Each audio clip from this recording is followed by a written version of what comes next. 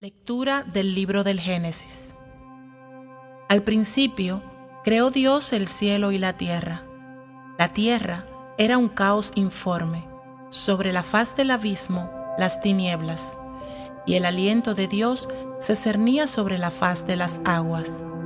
Y dijo Dios, que exista la luz, y la luz existió. Y vio Dios que la luz era buena y separó Dios la luz de las tinieblas. Llamó Dios a la luz día, a las tinieblas noche.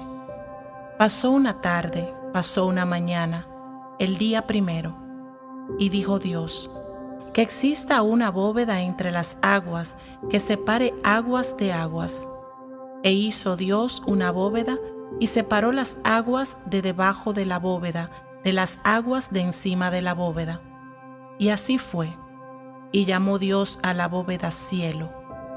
Pasó una tarde, pasó una mañana, el día segundo, y dijo Dios, que se junten las aguas de debajo del cielo en un solo sitio, y que aparezcan los continentes.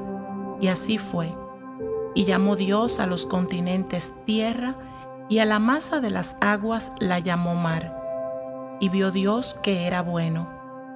Y dijo Dios, Perdé la tierra hierba verde, que engendre semilla y árboles frutales, que den fruto según su especie, y que lleven semilla sobre la tierra.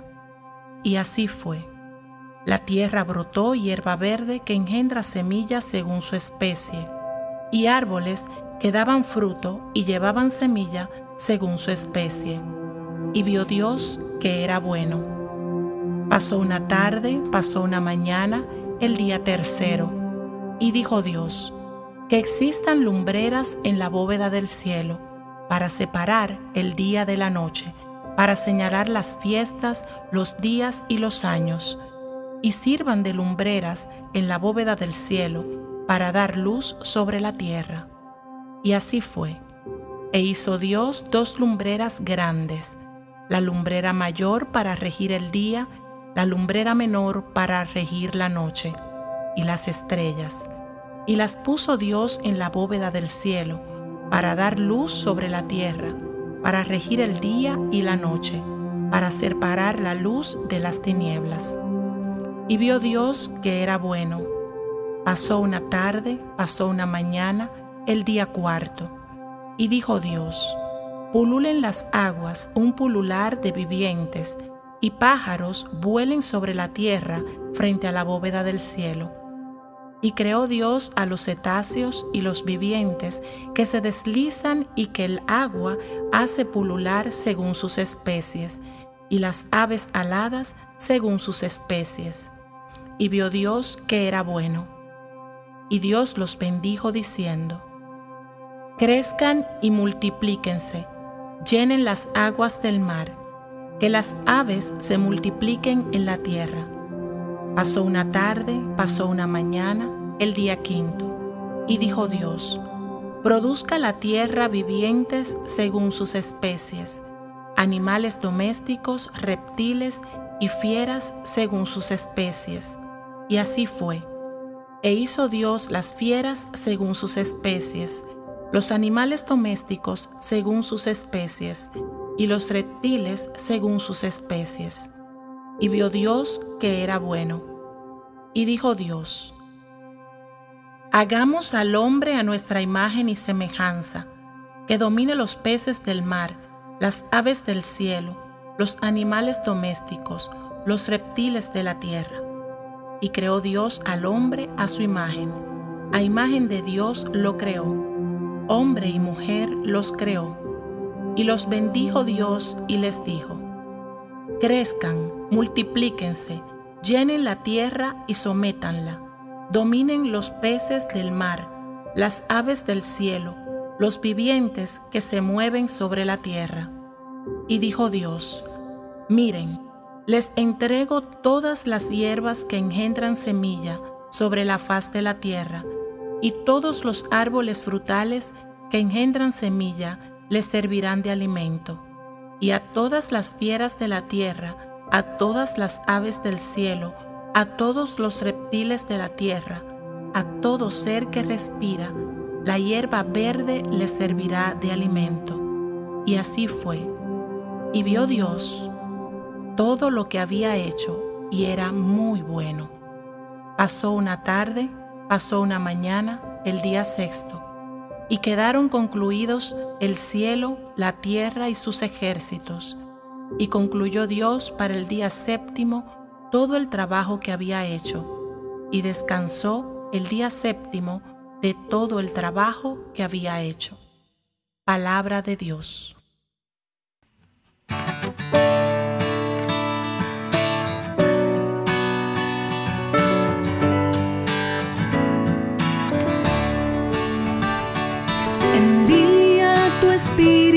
Señor, y repuebla la faz de la tierra.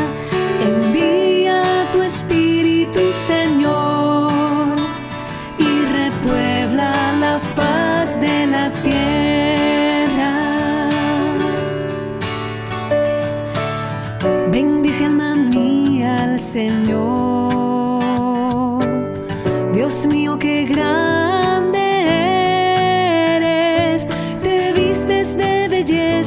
majestad, la luz te envuelve como un manto, envía tu Espíritu, Señor, y repuebla la faz de la tierra. Asentaste la tierra sobre sus cimientos y no vacilará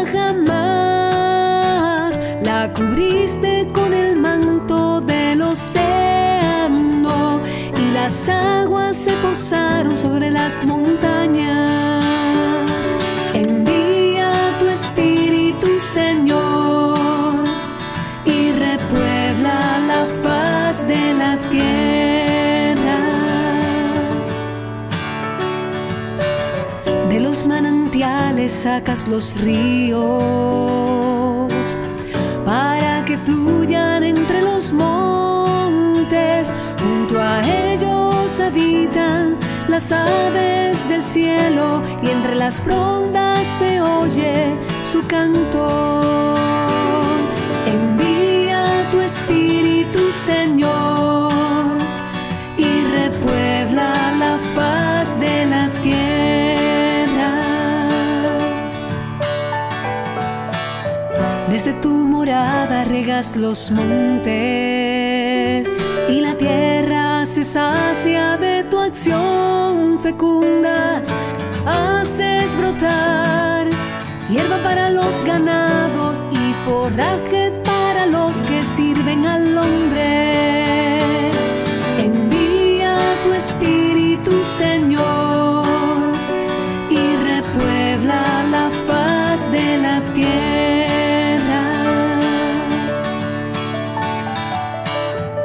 ¿Cuántas son tus obras, Señor?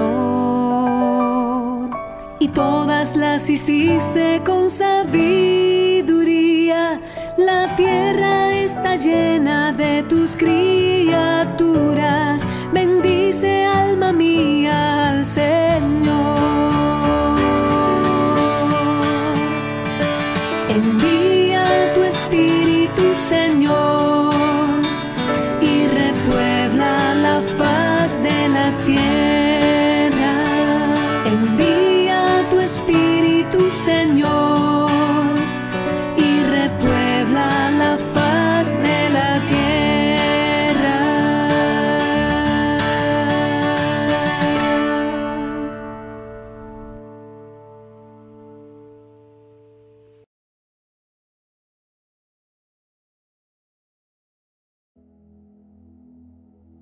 Acabamos de escuchar la proclamación de la primera lectura del Génesis en esta Santa Vigilia Pascual del año 2020.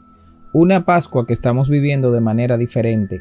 Estamos volviendo a la primera Pascua del Éxodo, donde el pueblo de Israel la vivió encerrado en su casa como estamos nosotros. Por eso la iglesia nos prepara también para un tipo de Pascua como esta. Volvemos a las raíces de la Pascua. Jesús también celebró la Pascua judía a puerta cerrada en la Santa Cena. esa noche que es una de las cuatro noches que aparece en las Sagradas Escrituras. Esta es la noche de las noches, esta es la Eucaristía, madre de todas las Eucaristías del año, la vigilia pascual. En esta primera lectura del Génesis vemos a un Dios creador, esta es la primera noche, Dios está solo, está en medio del caos y Dios quiere salir de ese caos informe y hace la creación. Nos muestra cómo es esa creación que ha hecho para todos nosotros. Todo está bien hecho. Nos muestra cómo hace la luz y luego Cristo nos dirá que tenemos que ser la luz. Nos muestra cómo del polvo hemos sido hechos. Ya la iglesia en el miércoles de ceniza nos ha dicho que polvo somos y al polvo volveremos. También nos muestra cómo nos ha hecho a su imagen y semejanza, hombre y mujer.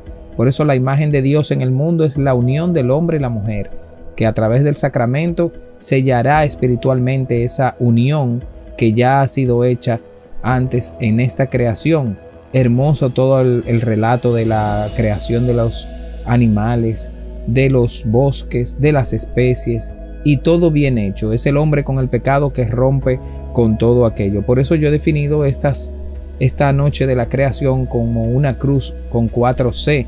Dios creador que hace una creación que nos hace como sus criaturas y Cristo que es el que le da eh, validez y lo que hace que sea esta creación la totalidad de lo que Dios ha hecho.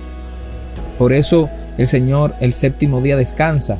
Y es que Dios se cansa, no, Dios nunca se cansa, este descanso es para nosotros. Por eso, queridos hermanos, después de escuchar esta santa lectura del Génesis, nosotros anhelamos, nuestra alma anhela volver a ese jardín, por eso la muestra de que el alma que quiere llegar a Dios es cuando ve un jardín, cuando ve la naturaleza tan hermosa. Ya nos lo ha dicho el Papa en su encíclica Laudato Si, contemplando la naturaleza, contemplando los paisajes, contemplándonos a nosotros mismos, vemos a Dios. Así que esta noche que todo está bien hecho, vamos a vivir a plenitud esta santa vigilia.